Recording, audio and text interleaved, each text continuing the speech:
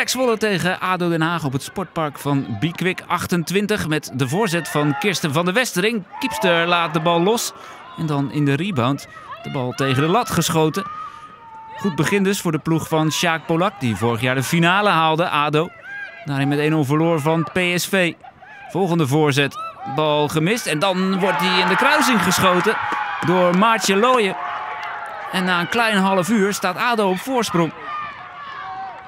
ADO versloeg in de vorige ronde met 2-0 Seistem. En Pek Zwolle won van de eigenlijke bespeler van dit sportpark, Bikwik 28 met 7-0. En Pek komt op gelijke hoogte, vlak voor rust, via Jevawak. Het verlengen is van Tiemens met het hoofd en dan uh, prima kopbal. En 1-1. Altijd in de eerste helft. Rijsbergen Namens de nummer 5 van de Eredivisie, ADO en de redding van Pondes. Namens de nummer 6, Pek Zwolle.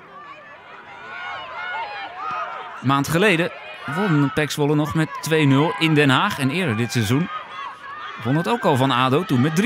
Maar ADO is vanavond in Zwolle wat beter. Hier gaat Rijsbergen, lijkt de bal kwijt te zijn. Maar dan op doorzettingsvermogen en met een beetje geluk. Bijna opnieuw de voorsprong voor ADO. Goede actie van Lis Rijsbergen. Bij Pek Zwolle gaat de trainer vertrekken. Joran Pot gaat naar Twente. Dit was een uh, uitstekende paas van Van der Westering. En daar is de goal van Rijsbergen. Een paar fans meegereisd vanuit Den Haag. Het is nogal een eindje. Maar keurig afgemaakt. En op zich een verdiende voorsprong voor ADO. Dan zijn er nog 20 minuten te spelen. En is dit Nauwelijks twee minuten later niet heel lekker gekiept door Pondes, die boos is. Die vindt dat ze gehinderd wordt. Maar het doelpunt van Gwyneth Hendricks telt. En zo is ADO hard op weg naar de halve finales. Want Zwolle komt niet meer dichterbij. En dus gaat Sjaak Polak door. En is Joran Pot met Pek Zwolle uitgeschakeld.